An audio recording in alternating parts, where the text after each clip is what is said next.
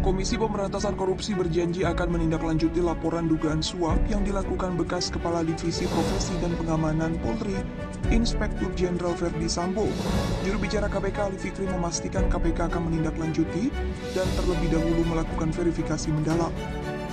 Benar, KPK telah menerima eh, laporan pengaduan masyarakat dimaksud dan kami pastikan KPK akan tindak lanjuti setiap laporan yang diterima oleh masyarakat dengan melakukan langkah-langkah analisis lebih lanjut berupa verifikasi mendalam dari data yang kami terima dimaksud.